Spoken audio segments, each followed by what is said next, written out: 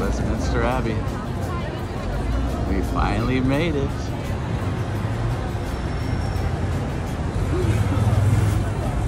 Westminster Abbey. Wow, just where the king was coronated at. All right, we are walking up towards the front of Westminster Abbey. it's really tall. I think we're gonna go over here to, it looks like there's an Abbey shop over here, like a gift shop on the right. We'll stop in there first before we try to get into the Abbey. But it is really, really tall, that's for sure.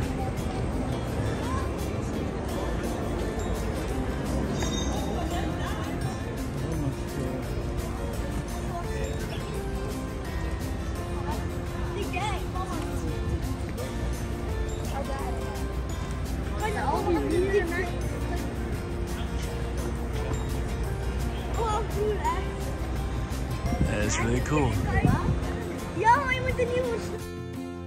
We weren't allowed to take photos inside the gift shop, but I was able to take a picture here outside of King Charles. And also, there is a replica of the coronation chair in one of the windows that I was able to take a picture of. Now, this is the uh, main entrance into the church. Now, if you're sightseeing, you won't go in this entrance. There's another entrance around the side, which I'll show you shortly.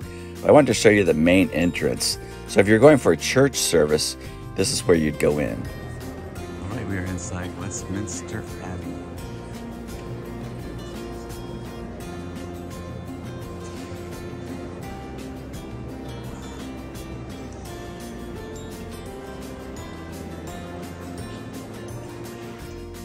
You'll see many things like the tomb of the unknown soldier and the grave of Sir Winston Churchill inside Westminster Abbey. Now, the Abbey has a long, long history. In fact, it was actually built about a thousand years ago. So you can just imagine inside what has taken place. There have been 40 coronation events. There have been 18 monarchs that have been buried inside. It's held 16 royal weddings. So the history of Westminster Abbey is just really, really amazing and just something to really take in when you're visiting here.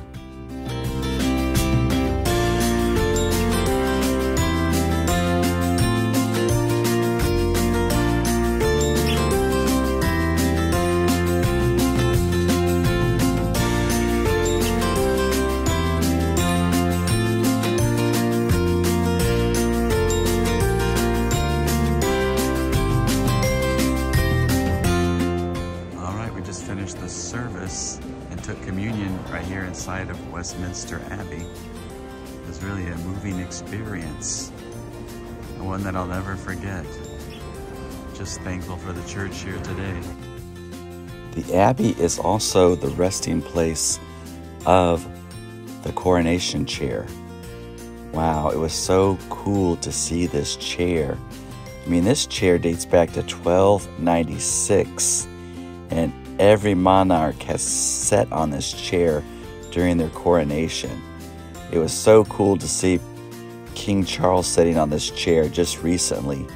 Wow. And then if you notice, when I zoom in, and you might have noticed this when you watch it on television, you can see all these like uh, carvings. It looks, I'm not even sure what that is, but it looks like people have carved their name into the chair over the years. But wow, a chair that's over 700 years old. Really cool.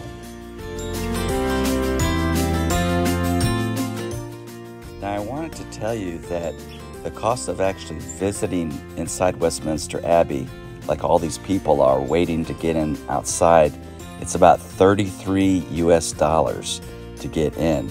And you can see by looking at these photos I took, there is a huge, huge crowd waiting to get tickets and waiting to get inside the Abbey. And if you want to save some money and some time, you might want to do like we did and just find out what time the services are that day. We are right across the street from Westminster Abbey.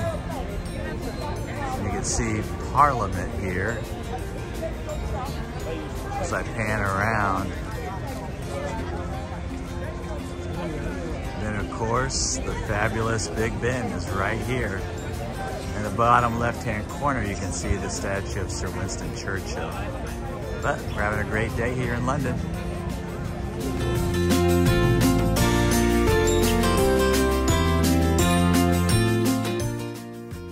Hey, I just couldn't tell you how excited I was to see Big Ben today in London. Wow, it just just such a highlight, and to be able to tour Westminster Abbey, uh, it was just a great, great day in London.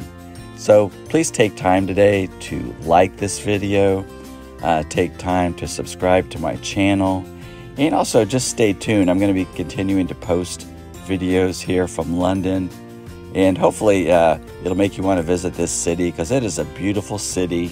It's very easy to get around. Looking forward to seeing you on the next video. Bye bye.